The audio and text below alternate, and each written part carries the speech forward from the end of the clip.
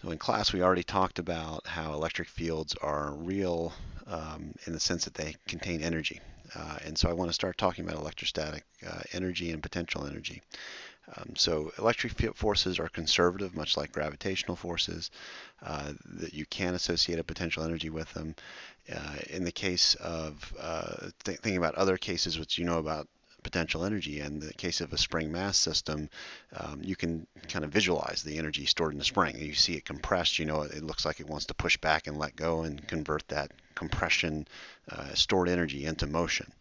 Um, in the case of the electric field, it's not apparent where the energy goes, but it goes into the electric field. Okay, so if I move charges around in a way that raises the potential energy of the system, you know, for example, if I were to take you know, two plus charges and say they started in this location with a separation that's that's D, okay, they want to get away from each other. So there's potential to, to move here. Um, but if I move them any cl even closer, like this, so to D over 2, uh, I know that uh, in, that urge to get apart is even larger. As they're closer together, the forces are stronger. Um, and if I let them go from this position, um, they will gain energy in moving back to the situation. Say if I hold this one, this is a little tricky because I have to imagine which one's sitting still and which one's movable. But let's hold this one and let this one move. If I let it go, when it gets back to the original location, it's going to have kinetic energy. Okay, and that kinetic energy is going to be uh, taken from the potential energy uh, that is in this situation where they're close together and that potential energy is stored in the electric field. Okay.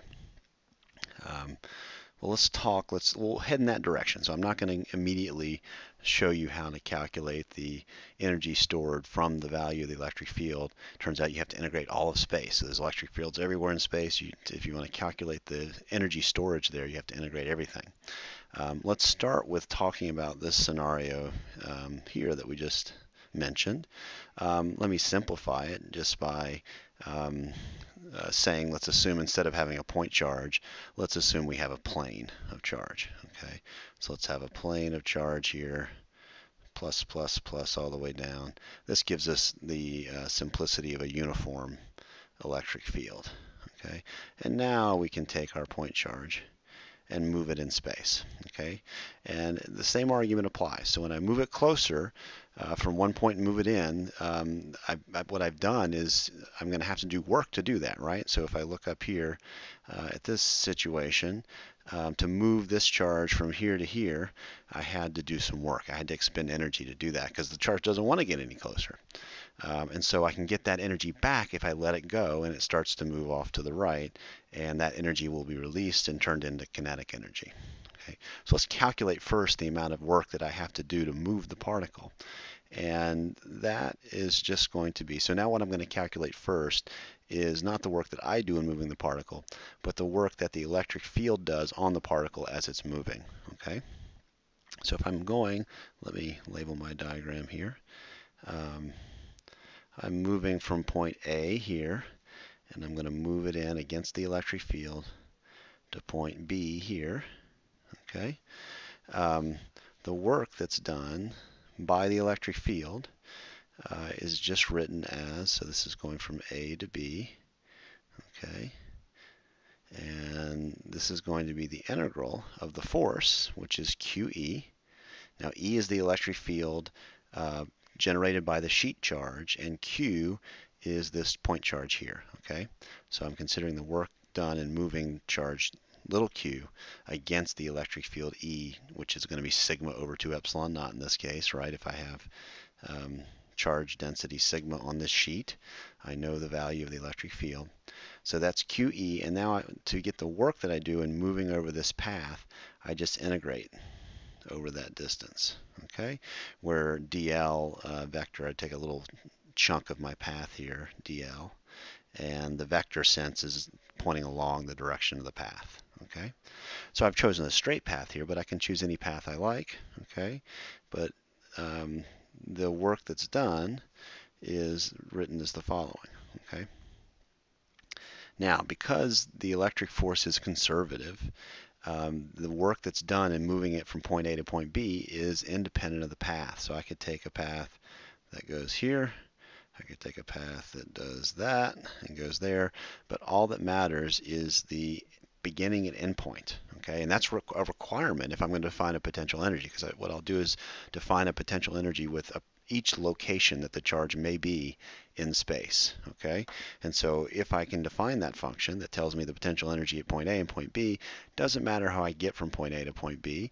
Um, it just matters that I move from A to B in some way. Now, the gravitational analog, if I at the top of a hill, um, is point A, and the bottom of the hill is point B. I know that it doesn't matter um, the amount of energy I release doesn't matter how I get from A to B, but if I can move myself from A to B, there's a certain amount of gravitational energy that I can release. That will go like mg times the height between these two points, if this is mass m here. Okay, and it's the same argument for the electrostatic field. It's conservative.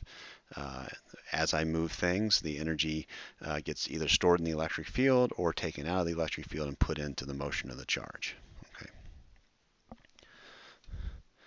All right, so that's the the work done uh, on the by the electric field on the particle as it's moving. Now, the best way to turn this so it, it, that work that you're doing gets is is um, connected to the potential energy. So the idea is if I have to push myself up the hill, okay, I have to do a certain amount of work to get myself up to the top of the hill. I, uh, I can get that work back by rolling back down the hill, okay, ignoring friction, of course. And so what I find is that the work that um, that I do, okay, to move the ball up is going to be the change in the potential energy of the system, okay, of the ball that uh, interacting with the Earth's gravity, okay.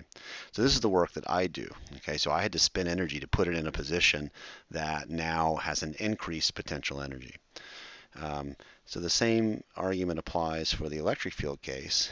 So I have the work that I wrote earlier. That's the um, this is the work done by the force. Okay, um, WAB that I wrote down earlier, which is Q integral from A to B E dot dl. Um, this is the work done by the electric field. Um, now, I have to oppose the electric field in order to move the particle from point A to point B. So the work done by me in the same process will be the opposite. Okay?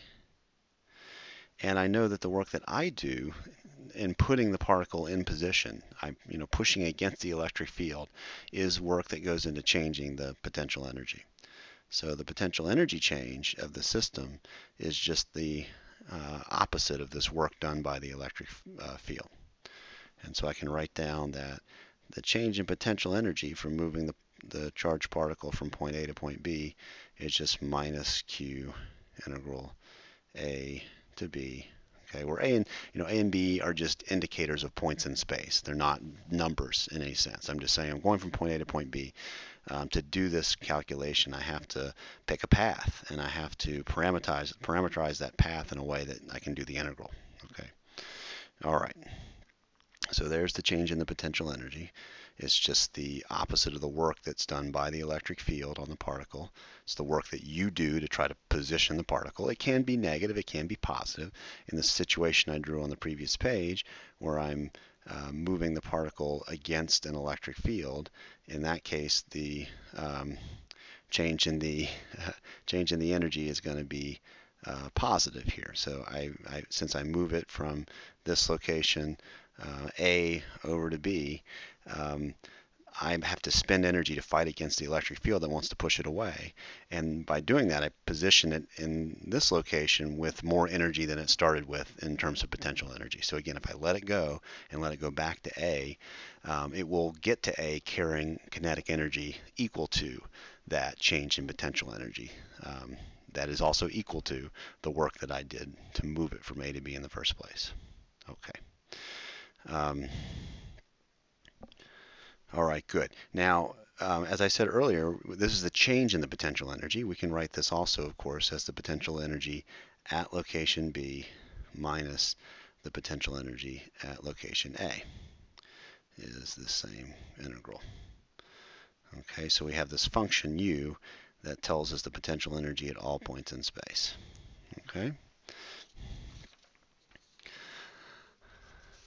All right, now the definition of the potential energy is a relative one. That's important to know. So this is how I define the potential energy of this uh, conservative force. So it's a relative potential energy. I always have to, to define it relative to some other location in space. So you need to pick a reference point, okay? Um, and so what, again, what matters is the relative change from point A to point B. Is it positive? Is it negative? That tells you if energy is going to be released and turned into kinetic energy or if I have to do work to get it you know, up the hill, okay? Um,